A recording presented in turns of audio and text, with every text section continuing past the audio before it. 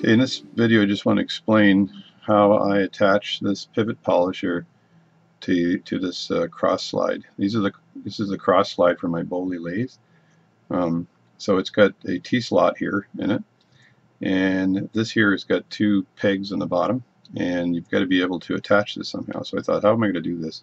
I've seen these on sale on eBay uh, quite a number of times uh, but they kind of never come with the plate that's part of it um, and you kind of need the plate in order to attach it. So I thought, okay, I'll make my own plate.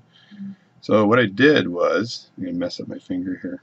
So what I did was I, I took a piece of steel, a pretty big piece of steel, and and I cut the steel into a, a big chunk.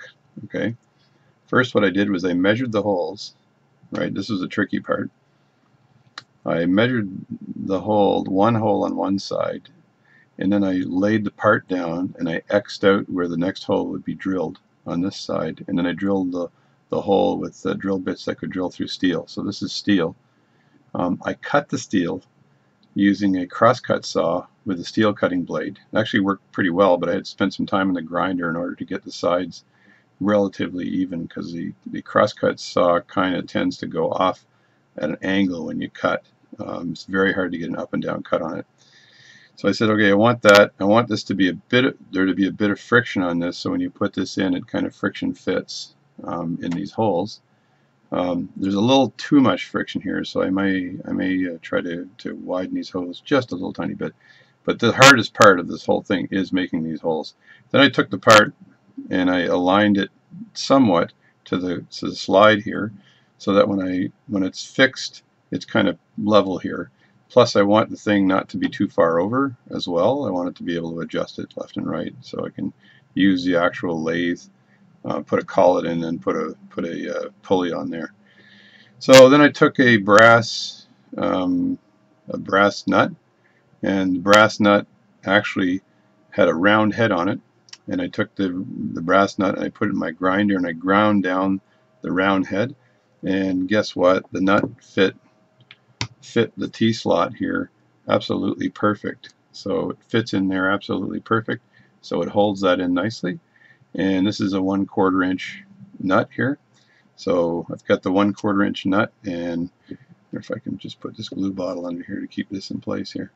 So I got one quarter inch nut here and so I drilled a one quarter inch hole to be aligned here so so and then actually I'll tell you about the finish in a second so this is fairly tight. I could make this um, this hole a little bit looser, but it's fine like this.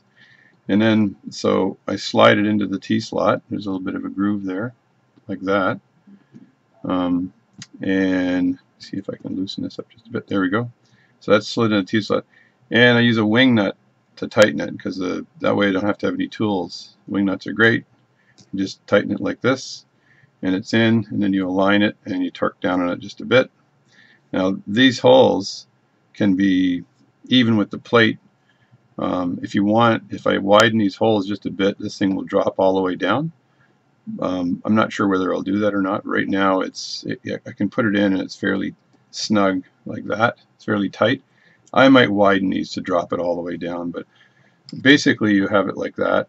Um, so it fits perfectly. So and I used a thicker piece of metal here. That way the width of that metal will, prevent this from rocking back and forth because it's not there's no way it's going to do any rocking with when it's in here. It's stable as heck right? And there's not a lot of force on here either so I so I don't I could push this down a little further. Like I can actually just basically rock it down a little bit further like that. Um, and so that's pretty that's it's a good fit right there um, and I can adjust the uh, slot here so I can I can actually move this so it's level like that with the back the back part. And then this then these these pegs will ground out on the on the uh, on the actual uh, slide itself right? So so anyway, so now it's all ready, um, and I can do some fine-tune adjustments this way, and I can adjust it this way to move it in or out to tighten the, whatever belt I decide to use. I'll probably use a string or something because this is really small, or really small shoelace. Anyway, so that's how I did this. Uh, I could buy these plates on on eBay, but they cost a lot of money. um, for what you get and if you've got just basic capability all you need is a some kind of a saw that saws this very hard to find bandsaw uh, blades that saw um, metal because everybody seems to buy them out um, and again I used a, uh, a crosscut saw to saw this and it worked just fine and then I used a uh, I basically ground it down on the edges and the paint I'm using on this is called hammer paint so I used hammer paint on it. It looks like it's a little tiny hammer kind of hit it. And so it's an unfinished, uh, it's a finished paint. It's a hammer paint. The brand I use is both a primer and a paint. So you don't have to bother priming it. And I just sprayed it. I hung it on a, uh, a wire. I used a coat hanger wire and edged it and held it and then just rotated it a few times and sprayed it very quickly and it dries in a day and then you've got yourself uh, a nice uh, bracket to hold your pivot polisher and that's it so thanks a lot hopefully this uh, video was useful and I'm starting to make my own tools for my lathe which is kind of cool